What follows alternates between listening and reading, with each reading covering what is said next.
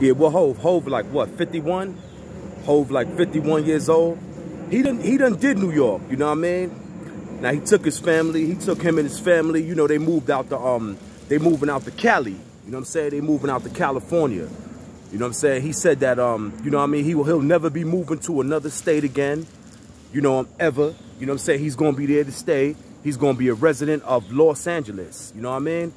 See, niggas got to remember, he did New York already. You know what I'm saying? Well, he's 51 years old. You know what I mean? He did the 80s. He did the 90s. You know what I mean? He did the 2000s. He did now. He did New York. You know what I mean? He want to see something different. You understand what I'm saying? Niggas got to remember that Hove is actually who niggas was rapping about. You understand what I'm saying? When um niggas was like in the in the, in the early 90s, in the mid 90s, niggas was rapping about like the the having the gold and the beamer and having this and the benzo and all of that and going OT and all of that. Hove was that dude for real. You understand what I'm saying? He was that actual dude that was doing all of that. That niggas was rapping about, like on the mixtapes and all of that. You know what I mean? He actually seen it. You know what I mean? He seen, he seen, he seen what it really is to be a street nigga. You understand what I'm saying? He he done did all that street shit. You understand what I'm saying? You got to give him his just due for where he's at today. You know, and um, you know, shout out, shout out to his relationship too, because I'm gonna tell you the truth. I didn't think that his relationship with B was gonna work. For one simple fact, she was watching Saturday morning cartoons. You understand what I'm saying? While he was trying to worry about how I'm gonna get this over the VA, how I'm gonna get this over the NC, how I'm gonna get this over the SC, how I'm gonna get this over there. While she was watching Saturday morning cartoons. You know what I mean? So they come from two different worlds. Not only is she from Houston, he's from Brooklyn. You know what I'm saying? So they from two different worlds. You know what I mean? So shout out to that relationship and it working. You understand what I'm saying?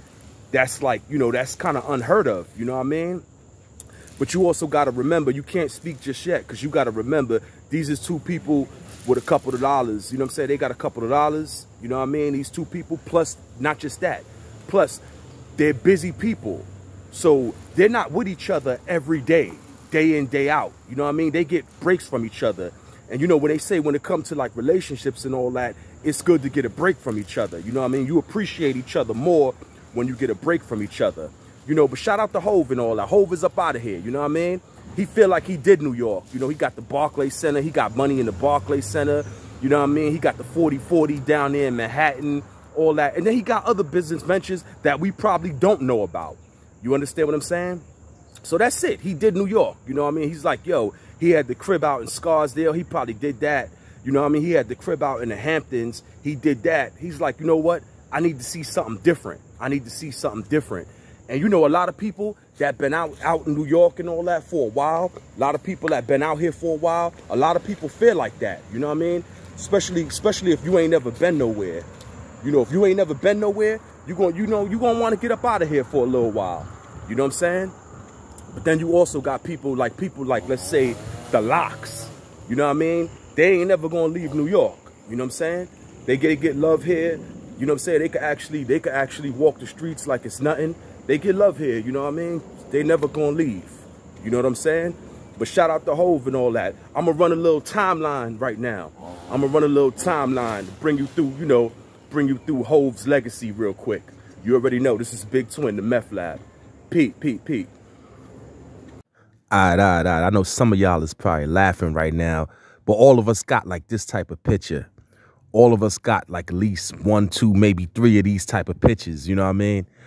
Yeah, this is Hove, man. This is Hove in his younger days, man. This is Hove. Um, you know what I mean? A lot, you know, at, at this time, like a lot of people that know, you know, he was gonna be who he was. You know, people can laugh all they want, but you know, this this this this young boy right here, you know, he grown to be a um very very beyond successful man. You know what I mean? And um you got to give him his just due. You got to give him his just due as being a kid from the projects. You know what I mean? Making it all the way up into the billionaire status, you know what I mean? He done sat with the elite, with the elite, you know what I mean? I mean, the people that's pulling the strings, on um a lot of things that go on, you know what I'm saying, on the earth today. You know what I mean? you, you got to give it the Hove, man. I tell you, boy. You know, But at this point right here, you know, he was he was still um um like in his mid level mid level in his career. You know what I mean? He was actually um he was actually a millionaire, a millionaire at this point. You know, he um at this point he had the 40-40 club. You know, he probably had a few other business ventures. He had the Roc-A-Fella um Roc-A-Fella label. He also had uh, Roc-A-Fella clothing. You know what I mean? Which they um him and Dame later on sold. You know, so um, he was in his rise. He was in his rise at this point to power. You know what I mean? And um, you know, he he he he actually discovered a lot of great artists. He actually brung a lot of great artists to the table. You know, Beanie Sigel being one of them. You know, and um, he Beanie Sigel actually turned out to be um better than him. The rapper Beanie Sigel is actually better than him and has more credit. You know, I mean, credible um songs than him. You know what I mean? But um at this at this point right here, that was like pretty much like um the end of um Jay-Z's um street street credibility at this point. You know what I mean? He was he was officially he was officially in the in, in the high seat, you know what I mean, at this point. He was officially in the high seat. He um he was at the point right now where he was known globally at this point. I mean, you know, he was mentioning certain brands in his songs and people people was actually not wearing certain things no more because he said it's a no-go you know what i mean or they was actually wearing things that you know he said was good money so at this point you know i mean the powers that be knew that he was effective that he, he was very effective you know what i mean and um this is probably the point where they got a hold of him you know at this very point right here you know. And I guess at this point, you know, he looked like he actually took a metal fork and stuck it in an electric socket at this point. This is the Jay-Z that I don't know. You know what I'm saying? I don't know what's going through his head at this point. You know what I mean? He looked like um Jean Basquiat, you know what I mean? Or like Maxwell or one of them, you know what I'm saying? I don't know like what's going through Jay-Z's head like right now. I know he's at he, he at this point he's at the actual um status where he want to be you know, but um I don't know if this was always him, the type of dude that just want to just look look wild, look crazy, you know what I mean? But um we just we still going to give him his just due. Jay-Z is a funny dude, I swear. We still to give him his just due. You know what I mean? He um actually um made it to the status where um he want to be. You know what I mean? And um you know, going to wish Jay all the success. Mathematics Entertainment Truth History.